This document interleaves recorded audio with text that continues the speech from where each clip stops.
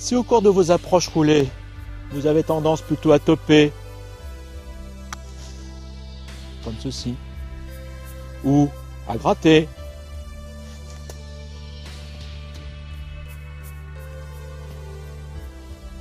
Essayez donc ce petit exercice.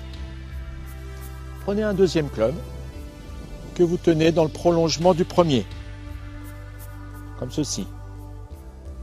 Placez-vous de sorte que la rallonge ainsi formée soit sur le côté de votre corps. La balle étant au milieu des pieds, point un petit peu sur l'avant. Faites votre approche grâce à un mouvement d'épaule tout en conservant le club le long de votre corps. Après vous être exercé, refaites le mouvement sans la rallonge.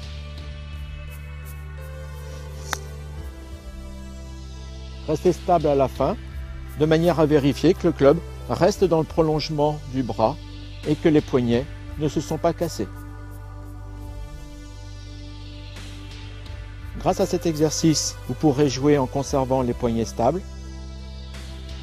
Le club pourra rester dans la ligne de l'objectif.